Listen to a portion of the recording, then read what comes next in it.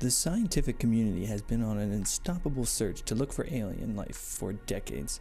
Along with that, scientists have been waiting patiently for a signal from potential life forms trying to contact us here on Earth. But what are we looking for? And if we are, how on earth are we going to decipher it? Interestingly enough, scientists aim their research towards our fellow mammals, specifically cetaceans, like whales and dolphins. A man by the name of Laurence Doyle asserts this notion with research called information theory. Doyle claims we must look at the way animals communicate with one another in order to communicate with aliens in the future.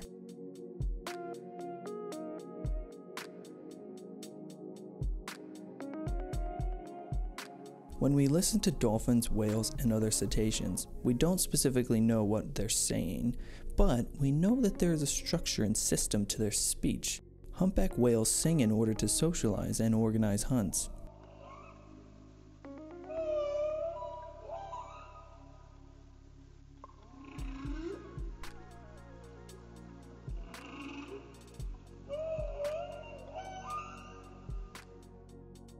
Dolphins use high pitched chirps to call to one another. Research has shown that dolphins actually have names within their groups and have a structured form of communication in order to work in their pods. The concept that these animals follow mathematical order in their noises is called Zipf's Law, named after George Kingsley Zipf, an American linguist.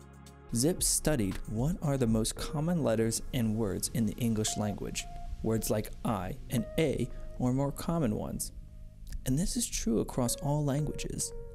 Zipf's law says that we use a lot of simple and easy words that construct the basis of our sentence, and then we add more complex words to our sentences to decorate them and make them more specific. Laurence Doyle, a research scientist, says this is necessary to deciphering languages, but not sufficient. Doyle argues that for a language to be a language, it needs conditional probabilities for example, the letter U follows the letter Q in most words. And if I were to ask the question, how are today, you probably guessed the word was you. Language has conditional probability, and Laurence Doyle believes that it can be found in humpback whales.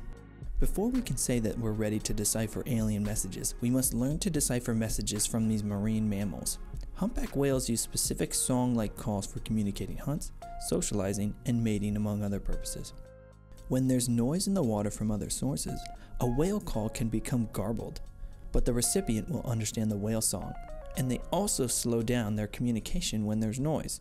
And this is something we could look for if alien life was trying to communicate with us, having to deal with the interference in space. Is there a universal conditional probability that connects all life? If we can figure this out, then we'll be a step ahead if we were to ever come into contact with alien life. Doyle also talks about an encephalization quotient, which is basically a measurement of intelligence of communications of species. For example, using the quotient, we'd be able to know the lower level communication could be linked to less intelligent species, and more complex communication linked to more intelligent species. So if we were to receive a message from extraterrestrial life, we'd know how intelligent their language is, Scientists have been working hard for years on a way to communicate with intelligent animals such as dolphins, chimpanzees, and whales. And if we were able to do that, we are one step closer to successful communication with alien life. If you enjoyed this video, please give us a like. If you want to see more videos like this, subscribe down below, and also hit the bell notification if you want to be notified every time we upload.